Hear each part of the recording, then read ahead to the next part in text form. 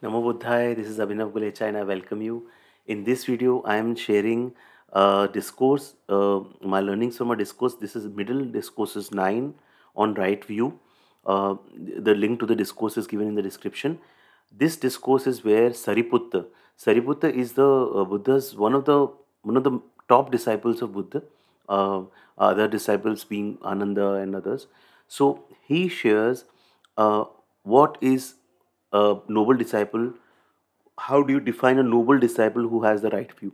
Now see buddha's teaching on the noble eightfold path which is the way to get freedom from suffering one of the path is right view right? That uh, the the problem is that we are in this cycle of suffering. Why? Because we think think that uh, things are permanent and uh, uh, we think of ourselves as that we have an individual, individual soul and we do not understand that beneath everything if you have any attachment or craving towards something it creates suffering. It it has a suffering within the, beneath it right? So we do not have the view about the three marks of existence which is impermanence non-self and suffering. And because of that wrong view we live our life and we live our life that i am doing this you know this ego this i which binds us right? So right view is recognizing that things are just arising and falling away right? There is no permanent self. If there is no permanent self then who do i get attached to right? So that right view actually arises when we uh, have practiced the moral precepts right? And then we uh, develop our mind. So in the noble eightfold path there is basically it consists of three elements. First is the uh, uh the ethical conduct which is comprised by right livelihood right speech right action then comes mental development, developing our mind by right uh, effort, right mindfulness, right concentration. Then comes the right view. You know, with these practices that we do, the right view also generates. So it's not a sequence wise. It's basically during the day, during our daily life also we need to practice right view, knowing things that they are impermanent. They don't have a permanent self, and they lead to suffering. So uh, so that's right view that we need to cultivate. It's one of the key pillars of the Buddha's Noble Eightfold Path. Now, how do you define a person, a noble disciple, who has right view? So this question was uh, asked to Sariputta, and Sariputta was an arhant, right? He he became an arhant, uh, being in the Buddha's path, and he was asked to share. So he shared it like 16 ways he has explained in this in this discourse. So this is a beautiful discourse. If you are you know interested to learn about right view from different angles, you can definitely check this course The link is given there in the description. In this video, I'll just capture you know the oh, oh, you know the broad points about what uh, Sariputta said. So the first way Sariputta explained about uh, right view was that a noble disciple who understands the unskillful and its root and the skillful and its root right that means unskillful things and its root and the skillful things and its root. So person who understands the qualities, whether they are skillful, unskillful, and their root, they are possessing right view. So it was asked, what is unskillful and what is the root? So, so Sariputta said, killing living creatures, stealing and sexual misconduct, speech that is false, divisive, harsh, nonsensical, and covetous, ill will, and wrong view. This is called unskill. And what is the root?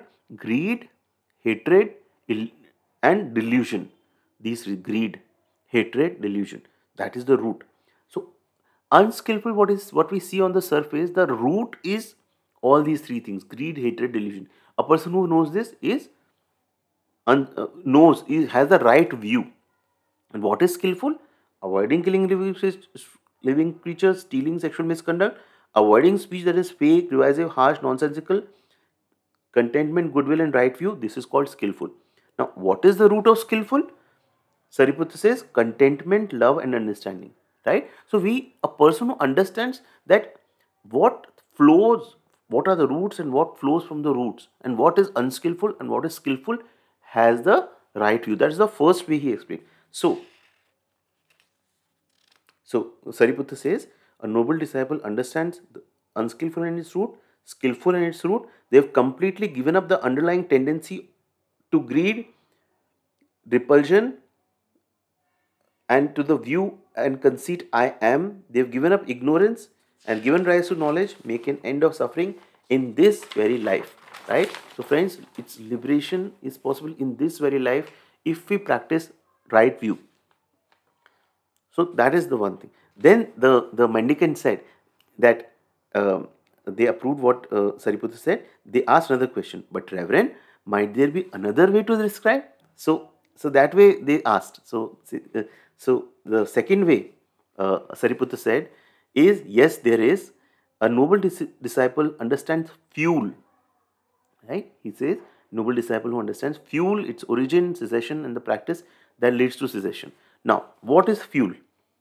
So, Sariputta said they maintain sentient beings that have been born. There are four fuels. Four fuels he talked about. And they maintain the sentient beings who have been born and help those that are about to be born. These four fuels are keep us in the cycle of suffering, this continuance. Solid food, contact, mental intention, and consciousness. Fuel originates from craving. Fuel ceases when craving ceases. The practice that leads to cessation of fuel is simply this noble eightfold path right view, right thought, right speech, right action, right livelihood, right effort, right mindfulness, right immersion, or right concentration, we say that. Right? So the second way is this fuel, right? Fuel which gets created from craving, right? So this fuel that is like solid food, contact, mental intention, consciousness. This fuel keeps and the person who knows that this fuel is driving me and the, they understand this origin and cessation of this fuel practice right view right so so sariputta says noble disciple who understands fuel origin cessation practice that leads to cessation they've completely given up the underlying tendency to greed underlying tendency to repulsion and underlying tendency to the view and conceit i am. They've given up ignorance. Same thing right? Second this is the second way he explained. Now the mendicant said good sir but reverend might there be another way to describe a noble disciple who has right view? So Sariputta said, Yes. Here he says, the noble disciple who understands suffering, origin, cessation, practice. Right? So this is again uh, the noble four, four noble truths. Right? So uh, so what he says, rebirth is suffering, old age is suffering, death is suffering, sorrow, lamentation, pain, sadness, distress are suffering. Association with the disliked is suffering, separation from the liked is suffering. Not getting what you wish is suffering. These are the five grasping the five grasping ag aggregates are suffering. This is suffering. What is the origin of suffering? It's the craving. So this para, Buddha is talk, uh, sorry, Sariputta is talking about the whole noble four, four noble truths in one this para. Right?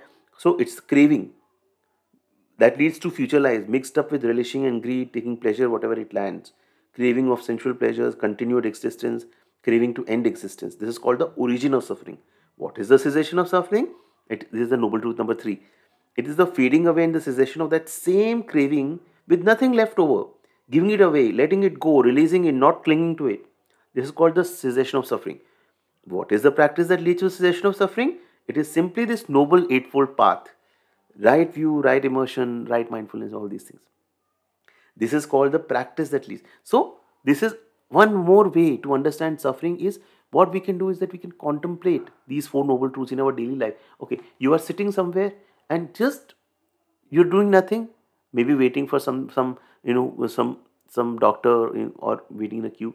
You can contemplate. What is suffering? What causes suffering? Suffering can be ceased and what is the eightfold what is the way suffering can be ceased contemplation on that. When we dis- contemplate that when we understand that this framework what buddha has given us we are practicing right view so then mendicants asked is there another way so so the, then sariputta said noble disciple who understands old age and death their origin cessation practice that leads to the cessation i've made a separate video on old age and old age i've made a separate video on old age and death you can i taken up, compiled all the various discourses Buddha has given on old age. You can also check that video. So, here Buddha says, what is old age and death? What is their origin, cessation, practice? Old age, dec- de- decrepitude, broken teeth, grey hair, wrinkly skin, diminished vitality, feeling faculties. This is called old age. And what is death? passing away, perishing, disintegration, demise, mortality, death, disease, breaking up of aggregates, laying to rest of the corpus, and cutting off of the life faculty of the various sentient beings. In this is called death, such as old age, such as death. So this is what he was trying to explain. Understanding person who understands the old age and death. Then point number five: Might there be another way to to describe a noble disciple? Buddha says, uh, sorry, says yes. Person who understands rebirth, origination, cessation. What is rebirth? The rebirth, inception, conception, reincarnation, manifestation of the aggregates, and acquisition of the sense fields of the various sentient beings. This is called rebirth. Rebirth originates from continued existence. Rebirth ceases when continued existence ceases. Then another way, sixth, sixth way, he says, noble disciple understands continued existence, its origin, its cessation, practice. Right? So there are three states of continued existence. Existence in the sensual realm, realm of the luminous form, and the formless realm. Continued existence originates from grasping. So seventh way. Uh, so then when he gets asked, is there another way? So Buddha says, yes, noble disciple who understands grasping. What is grasping? So he explains, Sariputra explains grasping at the sensual pleasures, right? Attaching themselves, attaching oneself to views, precepts, observances, and theories of the self. So grasping originates from craving. So they asked another way. So every place when he is asking, he is answering, he is saying the practice that leads to cessation of grasping is noble eightfold path. The practice leading to cessation of this is noble eightfold path. Every place he is saying the same thing. So we need, we need to understand how these things arise, grasping, craving, all these things, and know that this is the practice that we need to work on. Right? So all these discourses basically connect back to the noble eightfold path. So then it's craving. What is craving? What is there are six classes of craving craving for sight, sound, smells, taste, touch, ideas. Again, the practice for this is Noble Eightfold Path. Then, ninth way they asked, is there another way? So, so Sariputra said, ninth way is understanding the feeling. Because the craving arises from the feeling. So, there are six kinds of feelings. Feelings born of contact, eye, ear, nose, tongue, body, mind. Right? Then, Tenth way, another way, understands contact. Again, six classes of contact, then six sense fields, right? Then twelfth way is name and form. Then uh, thirteenth way is consciousness. Six classes of consciousness: eye, ear, nose, tongue, body, mind. Right? See, the consciousness also arises when the object we see outside. There's a corresponding consciousness that arises within us. There is a corresponding sense field that gets activated. Right? So all this just being aware that how these consciousness arise and they pass away. Another way, then choices, right? The origin. Uh, but what are these choices? Three kinds of choices. Choices by way of body, speech, mind. This is the choices. Choices originate from ignorance. Then, 15th way, uh, uh, uh, Sariputra says, noble disciple understands ignorance. What is ignorance? Not knowing about suffering, origin of suffering, cessation of suffering, and practice that leads to suffering all this this actually ignorance so this is all if you see this is all coming back to the dependent origination we have all been created from ignorance and then you know we create all this consciousness sense fields sense bases contact feelings craving they all arise from our ignorance is there another way 16th and last way uh, Sariputra says a noble disciple understands defilement origin cessation practice when they have done this they are defined as a noble disciple who has right view whose view is correct, who has experiential confidence and the, comes to the true teaching. What is defilement?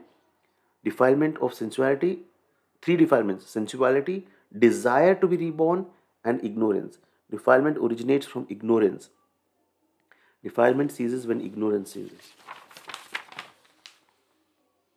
Right, so these are the 16 ways that uh, uh, Sariputra explained right view, what we need to do, right? First thing, practice daily insight meditation, which is also called Vipassana meditation. Right? I have made a lot of videos on insight meditation. You can go and check how to practice insight meditation. Right? I practice in the tradition of Mahasi Sayadaw, right? noting each and everything that arises in my meditation. Practicing insight meditation gives us the insight on impermanence, non-self, suffering. That wisdom frees me, right? So practicing that.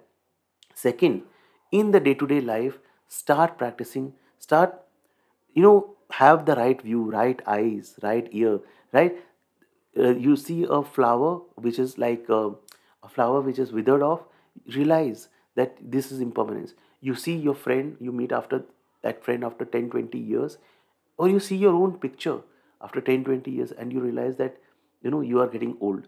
So realize this contemplate on this how suffering is there how you yourself create you have a certain attachment towards a loved one and that loved one says something which hurts you. How your attachment to that particular person is creating suffering for you. So start more and more contemplating. So when we do that we are in the process of cultivating right view. And when the right view is fully established in us then we are liberated. We are free. We are free from this cycle of birth and death. And that's my friends that's the goal that we are all going towards right? So i hope this sharing that i did made some use to you helped you get some perspective do check out the complete discourse. You will get your own insights. I hope this video was useful. Do share your thoughts reflections feedback on the in the comment section. Thank you so much for watching this video. Namo buddhaya keep practicing. Namo buddhaya